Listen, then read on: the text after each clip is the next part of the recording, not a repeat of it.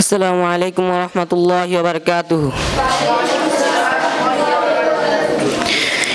الحمد لله وحده والصلاة والسلام على من لا نبي بعده أما بعد فأعوذ بالله من الشيطان الرجيم بسم الله الرحمن الرحيم يا أيها الذين آمنوا أطيعوا الله وأطيعوا الرسول সকল সকল প্রশংসা সেই মহান রব্বুল আলমিনের জন্য যার অশেষ মেহেরবানিতে আমরা দীর্ঘ এক সপ্তাহ পর আজকের এই বিশেষ আঞ্জুমানে আসতে পেরেছি এবং বসতে পেরেছি তাই আমরা আল্লাহ দরবারে শুক্রিয়া আদায় করি সকল বলি আলহামদুলিল্লাহ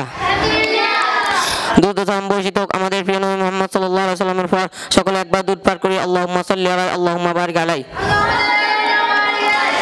প্রিয় উপস্থিত, আমাকে আজকের এই আঞ্জুমান থেকে বিষয় নির্ধারিত করা হয়েছে। তাসাউদে বসে শাহাদাত আঙ্গুল নাড়াতে হবে, সর্বদাই শাহাদাত আঙ্গুল নাড়াতে হবে। আমি আমার বিষয়টিকে সুন্দর বলার চেষ্টা করব, ইনশাআল্লাহ। তাসাউদ বা সালামের বৈঠকে পাশাপাশি শুরু থেকে শেষ পর্যন্ত শাহাদাত আঙ্গুল নাড়াতে হবে, এটাই সুন্নত। এ সম্পর্কে রাসুল সাল্লাহ আলাইসাল্লাম বলেন, আন ওয়াইল ইবনে হুজরিন ক্বালা, সুম্মা জালাসা ফাফতারা শারিজলাহু লিউসরা ওয়াদা ওয়াদা ইয়াদাহু লিউসরা আলা ফাকজিহি লিউসরা ওয়া হাদ্দা মিরফাকাহু লাইমানা আলা ফাকজিহি লিউমনা ওয়া ওয়াদা সিনতাইন, ওয়া হাল্লাক ওয়া হালকাতা সুম্মা রাফা ইসবাহু, ফারাআইতুহু ইয়াহরিকুহা ইয়াদউ বিহা।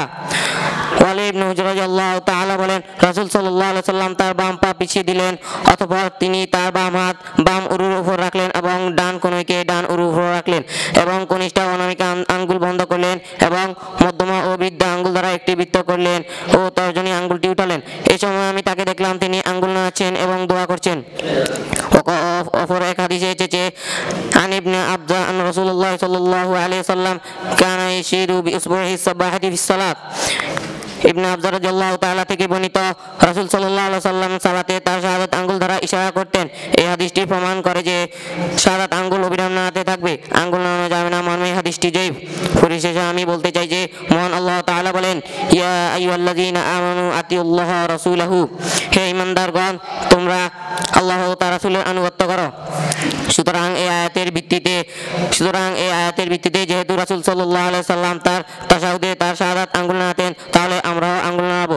আল্লাহ তাআলা আমাদের সকলকে পূর্ণভাবে রাসূল আলাইহি সাল্লামের توفيق دان كرون آمين. وآخر دعوانا الحمد لله رب العالمين. السلام عليكم ورحمة الله وبركاته.